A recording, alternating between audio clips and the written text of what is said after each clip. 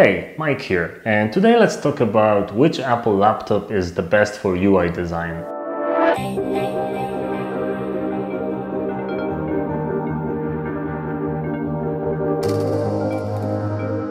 For the last 10 years we've been working exclusively on Apple laptops and this is because we've been using Sketch and Sketch is Mac only. So the reason to use laptops is because we work quite a lot in uh, cafes and we travel quite a lot so it's a lot easier to just take your workspace with you. We just got ourselves a 2020 MacBook Air that's the middle tier so it's an i5 and 16 gigs of RAM and um, we wanted to test it against all the other laptops that we've been using in the last few years. So is this laptop good enough for Sketch? And of course, if you're gonna do more than just UI design, so things like uh, 3D graphics or video editing, it's gonna be better if you go with a MacBook Pro, and probably it's best to go with the larger one because it has a much better GPU. But if you want to design UIs and do interactions, so work in Sketch, InVision Studio, UXPin, and things like that, then I think that most MacBooks work the same. So I'm currently working on a 15-inch uh, MacBook Pro from 2016, and it's a Core i7 processor with 16 gigs of RAM. And it really works perfectly for all my use cases. And before that, I was using a 13-inch MacBook Pro from 2011, and even before that, I was using an 11-inch MacBook Air, which had a horrible low-res display and it was very small and had a very slow processor as well. But what's funny that I was able to actually do most of my work on it and the thin and light uh, form factor was actually very easy to travel with.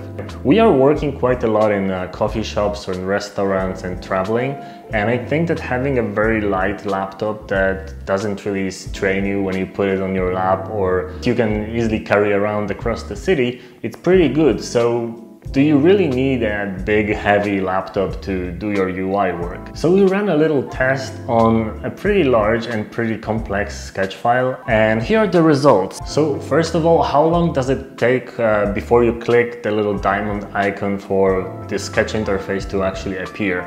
So on the 12-inch MacBook it took 2.67 seconds, then on the 13-inch MacBook Air it took 2.31 seconds, and on the 15-inch MacBook Pro it took 1.8 seconds. So as you can see, the differences are really not that big and it doesn't really matter, you can wait the extra second if the computer is gonna be half the weight. Okay, so now uh, the second test was loading a pretty big and complex document and um, the 12-inch MacBook took 24.7 seconds, then the 15-inch took 18.4, and surprisingly the 13-inch MacBook Air took 13.7 seconds for the same document which actually may be attributed to it being very fresh and not really bloated with a lot of software. Or maybe the new i5 is just simply faster. But working on the document doesn't really matter which computer we're using because it's pretty much the same across and only some operations like zooming quite a lot and rapidly is actually making the smaller MacBooks lag a little bit.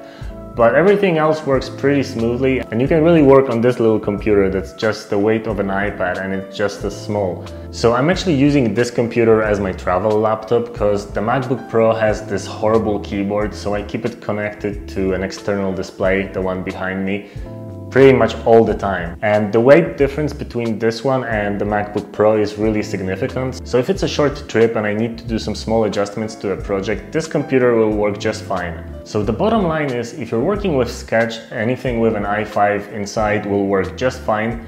And you can go with 16 gigs of RAM if you want the documents to load faster. But even if you go with 8 and you're mostly working on simple apps that are just uh, 20 to 40 screens, then you'll be just fine with even 8 gigs.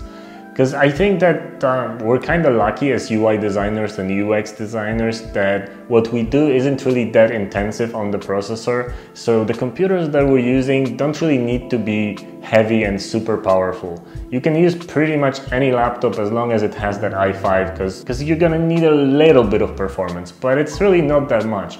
And well, of course, I'm still waiting for a sketch to run on the iPad Pro and if that happens, it's gonna be my main machine.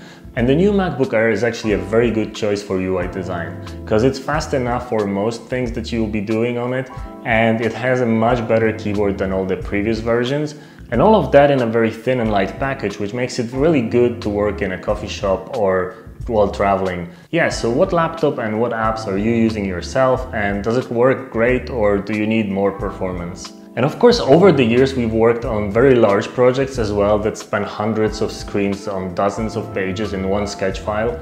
And I can honestly say that even the smaller MacBook works quite well on those. Sure, it takes a little longer to load them, but once you're in, it actually works pretty well. Okay, so thanks for watching. Don't forget to subscribe and see you next time.